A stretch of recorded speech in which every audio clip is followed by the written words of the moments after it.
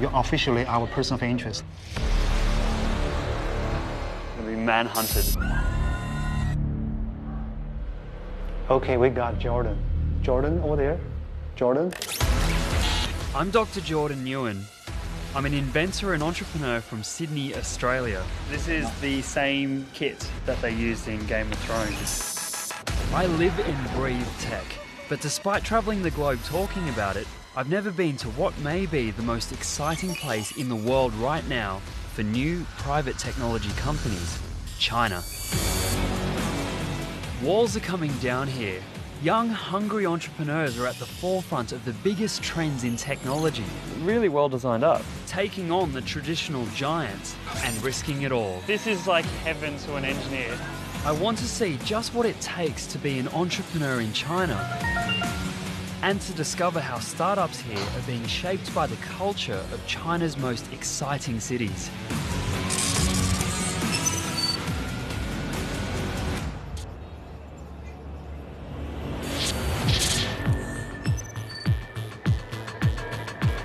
I'm in Beijing. It's home to more billion dollar tech companies than anywhere outside Silicon Valley.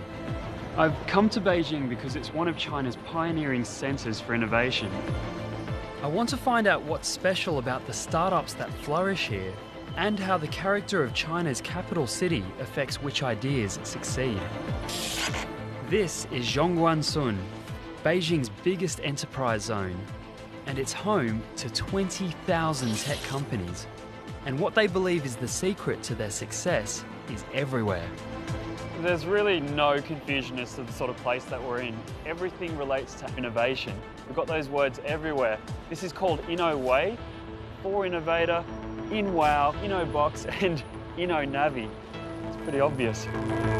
More than half the 45 or so billion dollar startups in China come from Zhongguancun, and 40 more a day are founded in the hope of joining them. There's a company that started life here that explains just what the Beijing startup buzz is all about. Here we go. Just gotten onto the highway. Now the car is driving itself.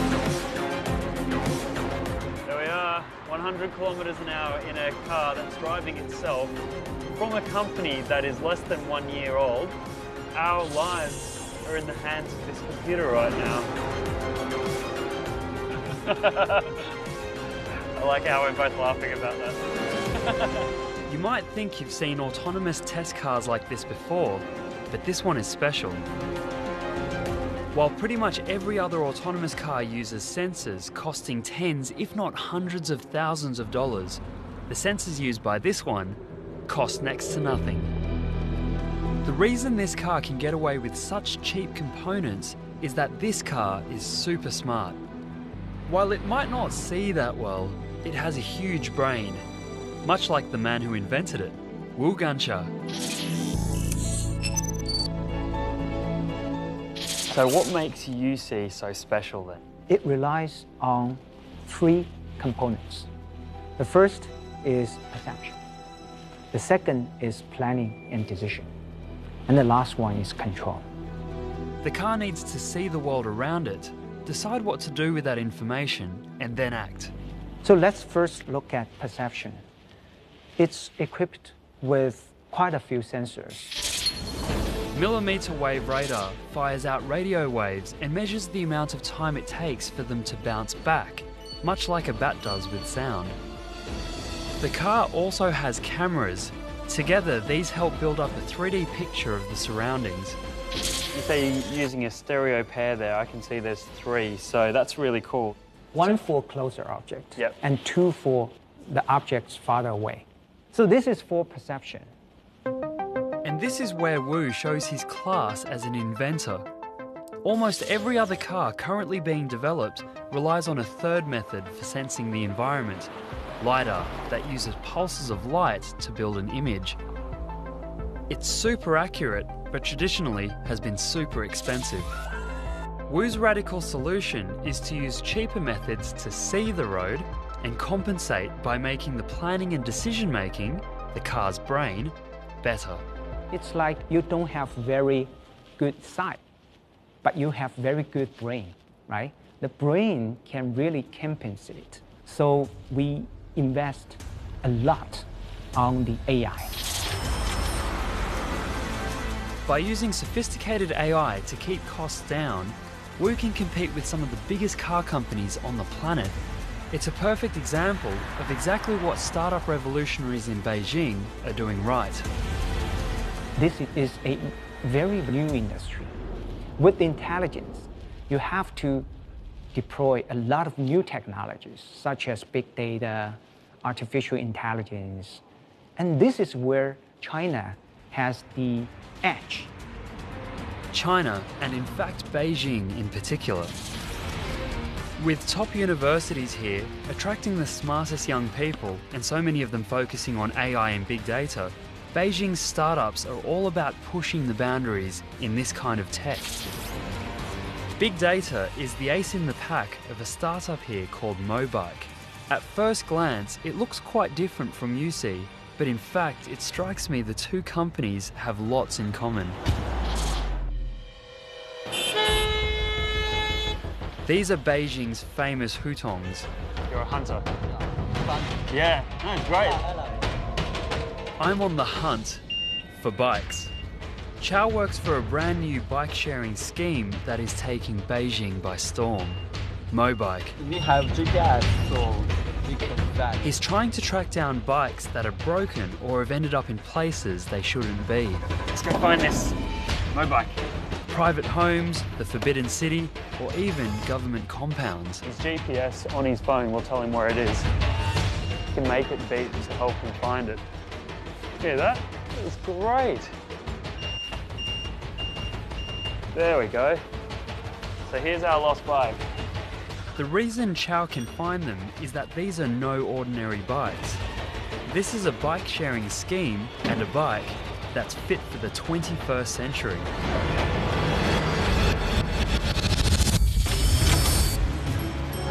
Like UISEE, Mobike thought laterally. It used a piece of tech that's easily accessible and at a stroke revolutionized the whole concept of the city bike share scheme. So open this map, and you know the exact sta- uh, location of uh, the mobiles. There are a lot around here actually. The bikes are all equipped with GPS, so their location is automatically fed back to Mobike headquarters and then to your app. So you can pick one up or leave one anywhere you like. Let's find a bike. So I'll show you. So there are a lot of bikes around here. Yep. Just click one icon and reserve You it. can reserve it. The second clever idea is their smart lock. It contains a SIM card so your phone communicates directly with the bike. Scan this QR code. Yep.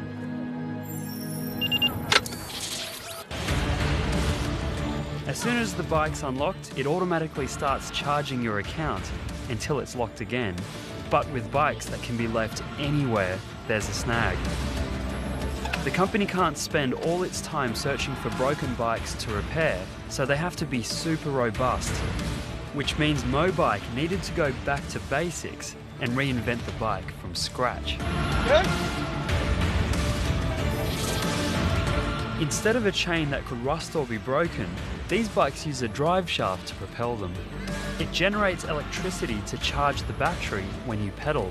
It has electronic brakes and airless tyres to eliminate flats.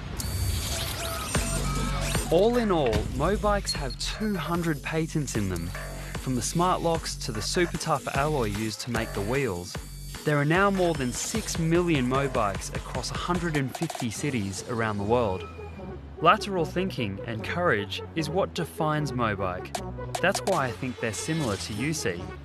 And there's more. As a business, Mobike are hiring out shared bikes, but they're also a big data company, gathering valuable information about all their millions of customers. Because the bikes are equipped with GPS, you can find out exactly how they're used. I guess you know that at certain locations there's already a big uptake, so you don't need to push the marketing as much there. Whereas maybe there's other areas you'd like to break into, so you'd like to put a bit more focus there.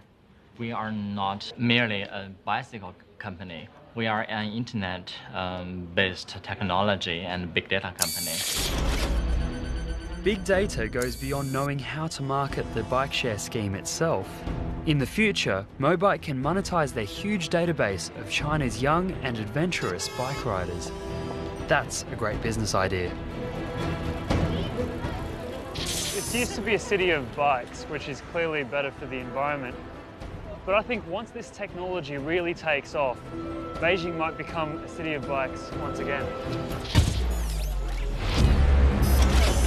Beijing's startup scene is beginning to give me an idea of how the world will look. But Mobike couldn't really be successful without another revolution that's already going on. These are four kwai each. As I'm discovering, perhaps more than anywhere on Earth, China has become the home of the smartphone. Wow. That's a tasty toffee apple.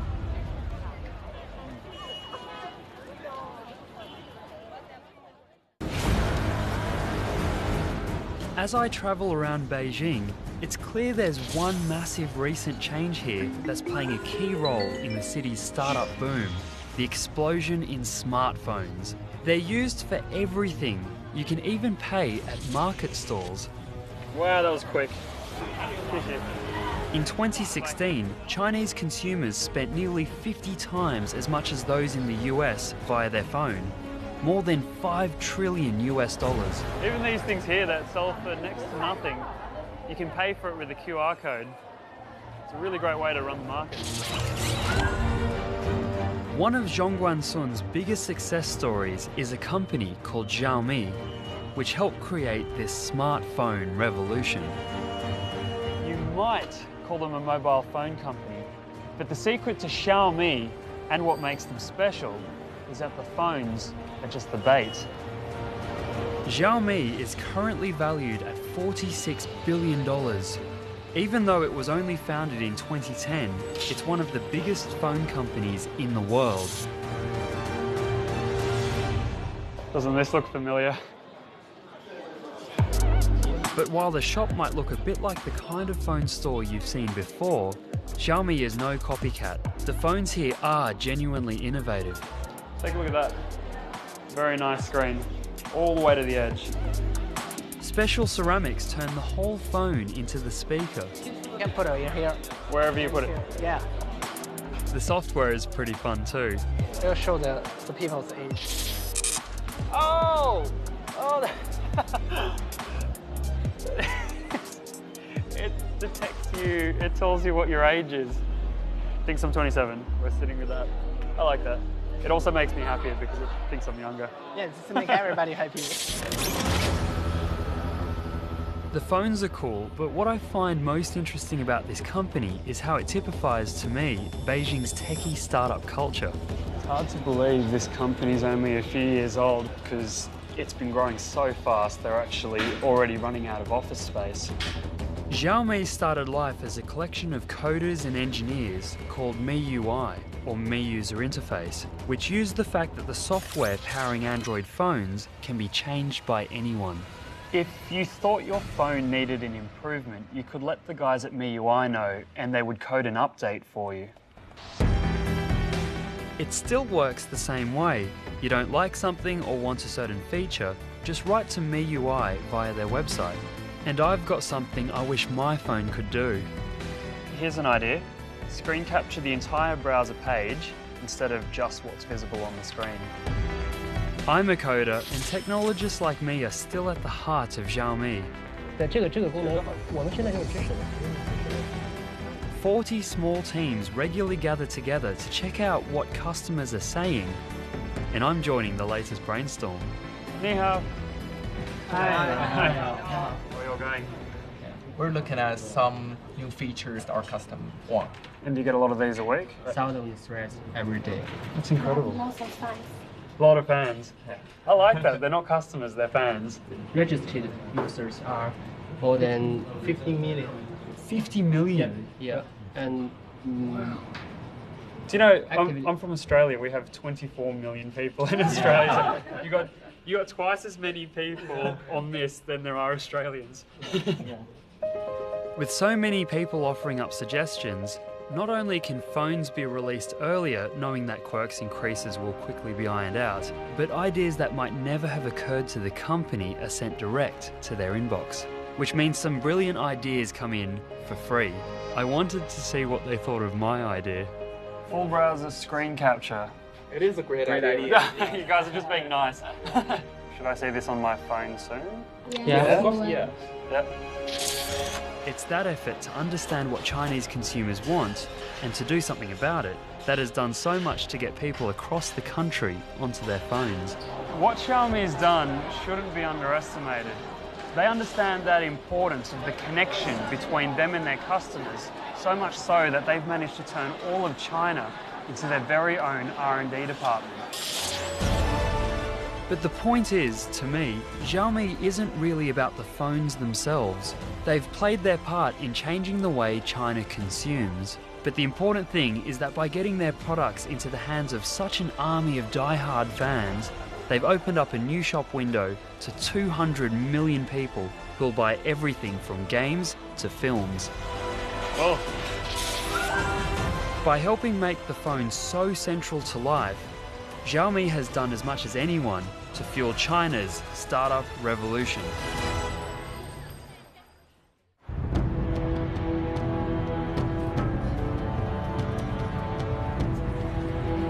I'm Dr. Jordan Nguyen. I'm a technology inventor and entrepreneur, and I've come to China to see how the innovations of startups here are changing our world. One of the things that's really impressed me about the entrepreneurs here in Beijing is how innovative they are, coming up with new ways to use existing technology, capitalizing on China's love affair with the smartphone. And it's not only the software, but the hardware too. Meet the guys from Noitom. This is the same kit that they used in Game of Thrones. Now I'm getting to try it. Noitom has come up with a sensor suit that can perfectly capture every movement of a human body affordably and incredibly precisely. Noitom's founder and CEO is Liu Haoyang.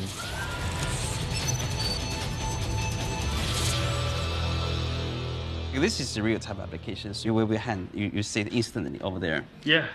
Yeah, it's very fast. Very fast tracking. It's just instantaneous. You sort of change your movements based on whatever character you've got on screen. Yeah, it's like you see yourself in the mirror, but the mirror is a magic mirror. Noitom's system uses 31 cheap sensors to plot movement, much like the accelerometer and gyroscope found in our phones. So just like your smartphone can track its own movements, each of these little sensors will track its movements. Yes. And together you get a good model of the entire body. That's right. It used to be extremely expensive to capture motion, requiring a large camera setup or costly industrial sensors. But Liu spotted an opportunity created by the smartphone boom.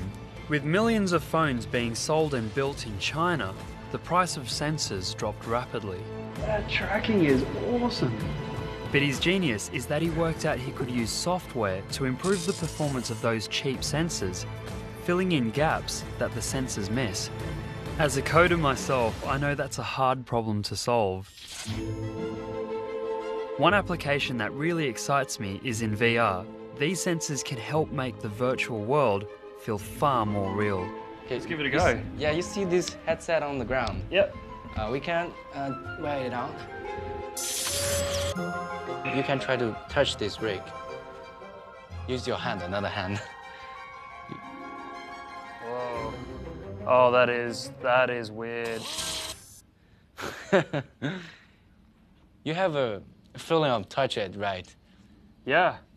I've got on an object that's both virtual and real. By attaching sensors to objects, you can both see and feel them.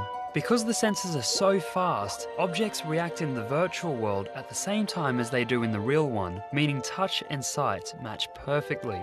Oh, that's cool. This one would be a little harder. It's very quick. Otherwise, I wouldn't be able to do this. This is definitely a tough problem to solve to make objects that you bring into the virtual world with you tracked so quickly and so accurately that you can do things like throw it and flip it round. When you can pick up objects and you feel them, it, it tells your brain that it's, it's even more real. Proving the software isn't the hardest part. It's having the vision in the first place to see what might be achieved and then having the courage to try and do it.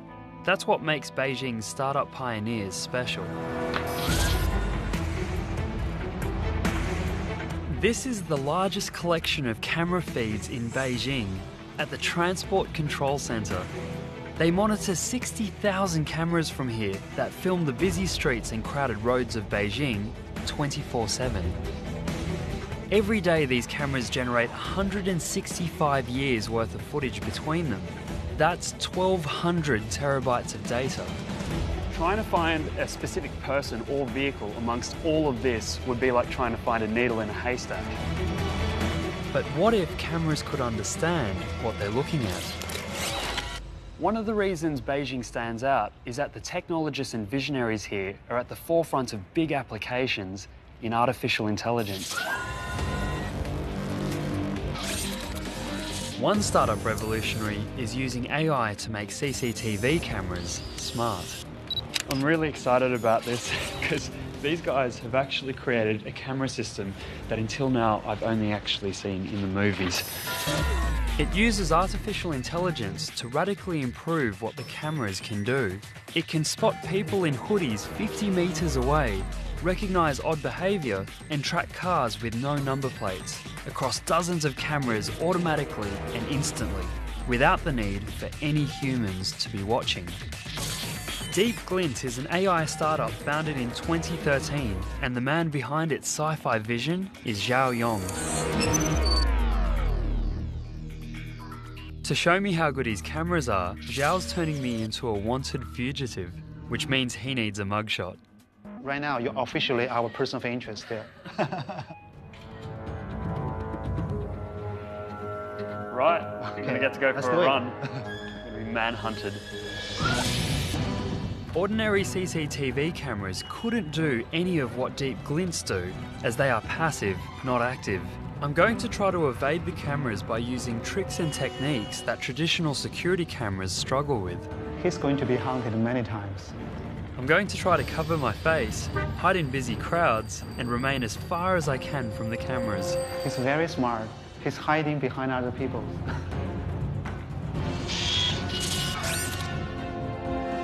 okay, we got Jordan. Jordan over there. Jordan, Jordan. He's not going to get away. so, Mr. Zhao, did you find me? Let's find out. Let's find out. Yeah. Let's find. Wow, look at here. I think that's you, right? That's yeah, well, yes. We're under okay, that, right. that building. Despite my best efforts, the computer has found and highlighted dozens of snapshots of me, even when my face was obscured. It's also neatly collected and logged them. If I really was a wanted fugitive, I'd have been caught. There really isn't anywhere to hide from this system. This may look like an ordinary security camera, but it's not. By adding artificial intelligence, it knows what to pay attention to and what to disregard, just the way a human does. It's turned ordinary security cameras into brains. And it's all thanks to deep learning AI. Computers are excellent at spotting patterns. If you explain enough times what something looks like, the AI starts to understand the patterns that make up a person, object, or behaviour. The more it learns, the more intelligent it gets, and the fewer patterns it needs to understand what's happening.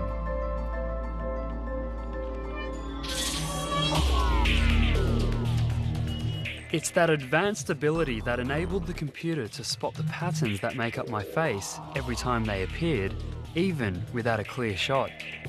But there's something else about Zhao's AI that makes his system even more mind blowing. He's designed a tech version of one of nature's most complex creations the human eye.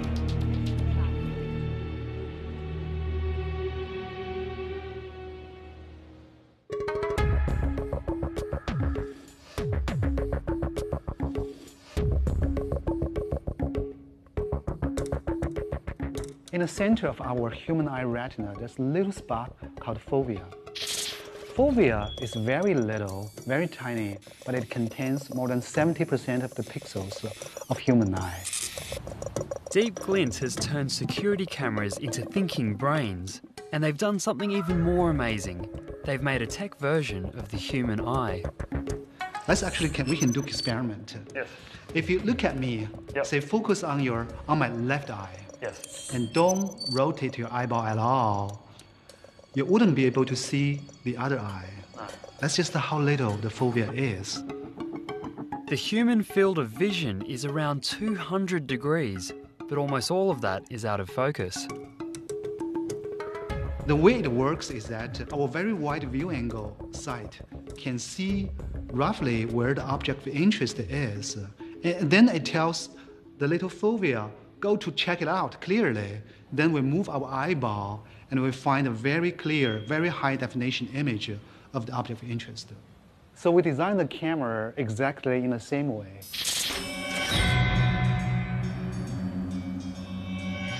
Zhao's system uses two cameras, one that has a wide-angled view of the scene, and one, like the human fovea, that concentrates on a much more detailed section of the image.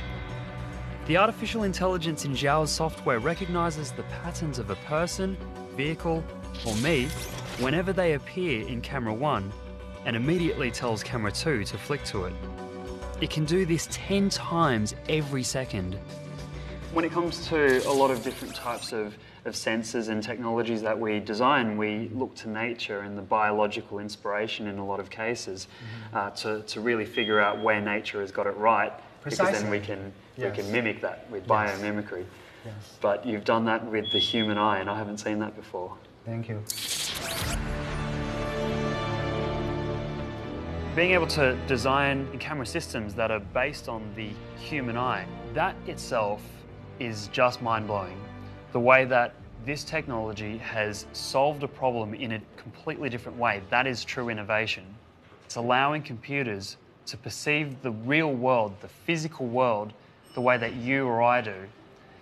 And there's a lot of potential in that. Deep Glint is the perfect example of the startup revolution in Beijing, a company that's innovating in AI and that's brave enough to attempt a totally new idea. The glass itself is a screen and it's a touch screen and you can see through it. Oh yeah! There's my sticky note. And this spirit of innovation in technology is affecting pretty much every type of company, both small and big. Like screen manufacturer BOE, based on the outskirts of Beijing. How many times will it bend before it breaks? The customer needs maybe hundred thousand times. More than 100,000. BOE started making TV components for foreign manufacturers in the 1990s. And now it makes some of the coolest tech on the planet, like a screen that replaces the glass in conventional LCDs with a flexible nanotech film that I think could completely change the face of mobile phones. If it comes out as something that could be possibly a phone in the pocket, take it out, fold it out into a tablet, Yeah, yeah. that could be very functional. We can put the display uh, in your wrist. After this one, I'll working on the rollable TV. Rollable TV. Yeah, you, you can put this uh, on your wall, so you can roll up and down.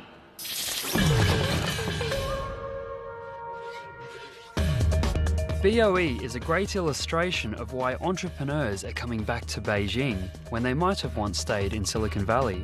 China is known as a manufacturing nation, and it still is, but manufacturing isn't what it used to be.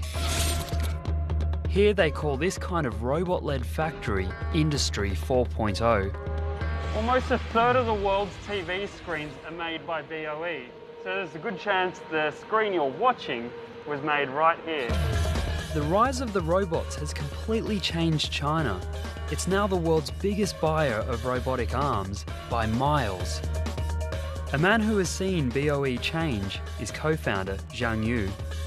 BOE E 整个集团呢，在全球来说，现在已经有五万多的呃员工。那大家看到的这一条线是吧，大约有六千多人。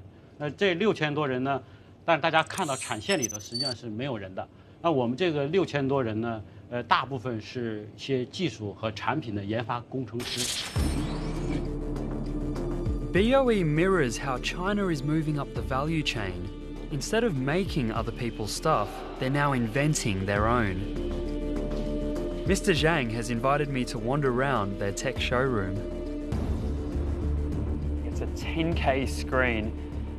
That's unbelievable. There's no camera that can actually film at that higher resolution yet. That is amazingly crystal clear.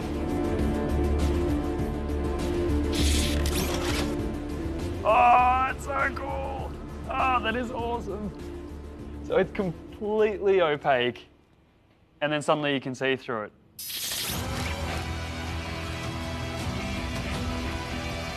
Oh, it's very clever. It's like an ATM, so only I can see it. In the past few years, BOE has come up with around 40,000 usable patents. BOE have moved away from low value manufacturing to cutting edge research and development. It goes to show that the big companies, just like the startups, need to keep innovating, keep creating ideas. They have to keep up with the rapid global rate of technological change.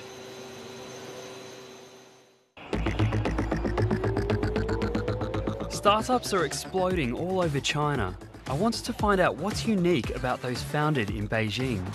Just like Silicon Valley, the best companies here are leaders in software and artificial intelligence. Their success is made possible because of long established government enterprise zones, like Zhongguancun, which provide support in the early stages. Beijing is also home to around 40 of China's biggest universities that produce world leading graduates to staff these tech companies. No wonder the cafes here are buzzing with people talking tech. Zhongguancun provides literally everything for you. You can talk to people about all your ideas. You can meet investors. Um, if you don't know how to write a contract, you have lawyers right next door. I would love to be able to come out here and start a business some point. You should. It's really easy to see the enthusiasm for tech here and the support it gets. And Zhongguancun's successful tech companies provide role models that inspire the risk takers in every succeeding generation of graduates. Most time, uh, the top talents from university, they always want to find a job from big setup companies such as IBM, Microsoft, Google. But Beijing was very special because top students would like to go to startup Probably because there were more successful startup stories in Beijing than anywhere in China. As more startups get successful in Beijing, more are inspired to join them. But Mobike founder Hu Weiwei thinks the city's unique culture has played a part in her success. 我觉得在这个城市里面聚集了很多这样的年轻人，很多人才，很多呃资本的力量，然后很多媒体，就很多 很多很多，就是想要去探索的那一股力量的人都在北京。同时，因为最早有很多科技的公司在北京，所以这边就一直延延续了这种氛围。Beijing clearly has something special to offer would-be startups. But what I'm also learning is that startups like Mobike have also prospered by precisely understanding what Chinese customers want. Xiaomi also worked hard to create a close bond with their mobile phone customers by catering to their individual tastes. Now they're moving into the Internet of Things, selling a whole new range of products to their 200 million smartphone owning fans. They've cultivated a bamboo forest of 80 startups that make everything from internet connected rice cookers to smart light bulbs, all overseen by Xiaomi. Here's the clever bit because all these products are run via the Xiaomi app, every detail about how the product is used is fed back to the company, building a vast and valuable database. Everything is connected with each other, so everything is smart. And that big data about exactly how products are used helps the company design, market, and sell even more products to its millions of customers. The man in charge of Xiaomi's IoT ecosystem is co founder Liu De. 所有这些产品吸收的数据，对小米来讲，未来是一个巨大的财富。比如说，呃，小米的净化器，这个净化器它会比你更先发现你需要换滤芯儿了，它就会问你说，哎，你要不要换一个？我我发现你家里的滤芯需要更换了，你要不要在现在购买呢？饭包它每天知道你在几点开饭，它每天知道你吃米饭还是粥，每天你用什么样的大米，每天你吃什么样的大米，我们可以用饭包来卖大米，通过这个饭包的 app，所以这都是 IOT 时代可能潜藏的机会。It seems to me it's seizing those new opportunities that have defined Beijing startups. It's something you might call the entrepreneurial spirit of Beijing. Instead of specializing in one niche, startups here have the confidence to apply their new tech ideas wherever they can see an opportunity. And it's something Noitom's done brilliantly.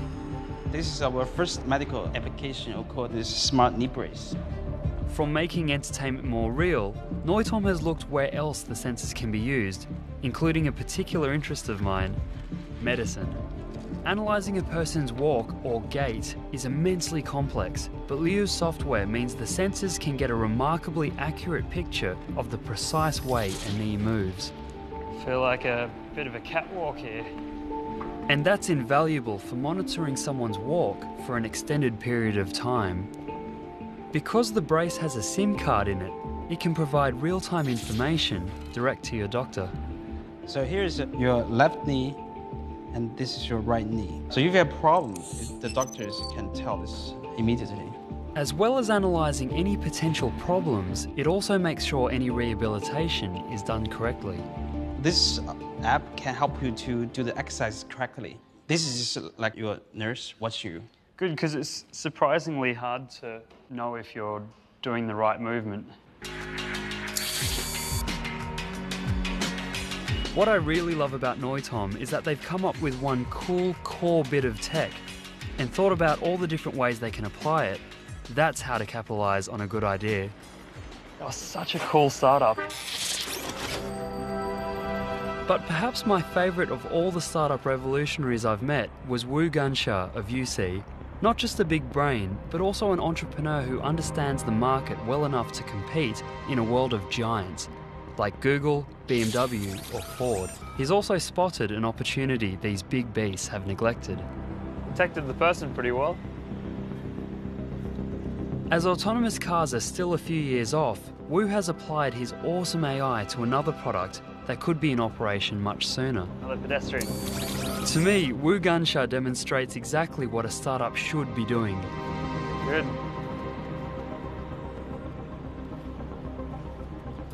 we pick a niche market.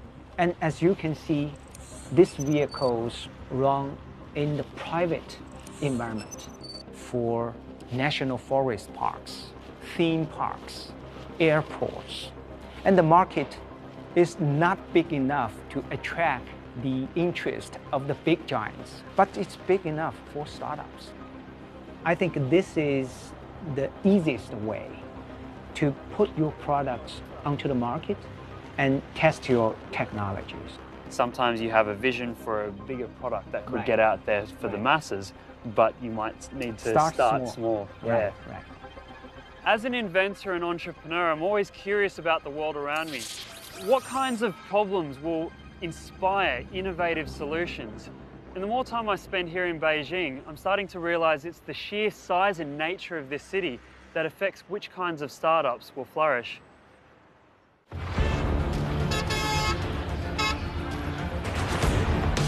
It's been an awesome experience visiting Beijing. The combination of top brains, innovation, and risk taking courage makes this one of the most buzzing places I've ever seen for tech startups. But with all these young entrepreneurs coming from all over China and working 24 7, there's one last startup I want to visit. There's a company here that's using tech to give people a little taste of home. It's the startup that feeds the startups.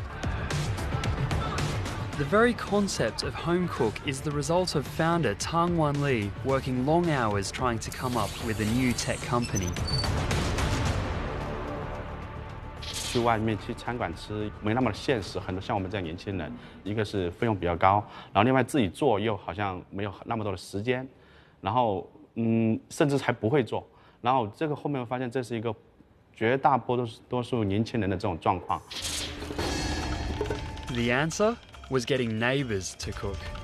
This is how it works. It's really simple. You open the app, find a local cook, select the dishes that you want, put it into your cart. You can either pick up or have it delivered.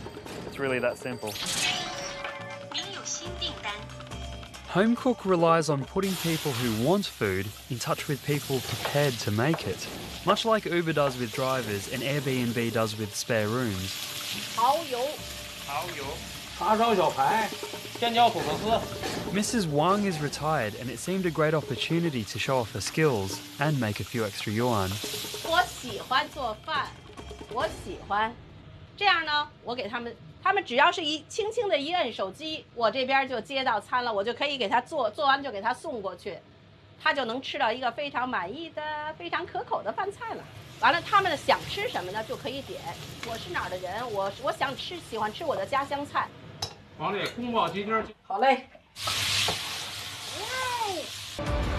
你好，有饭。再见啊。再见。Hi, Grandpa.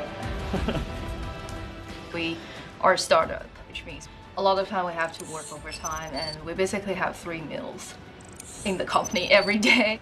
There are many apps that deliver food, but home cook I mean for me is kind of special because all the other apps they just provide food from restaurants nearby.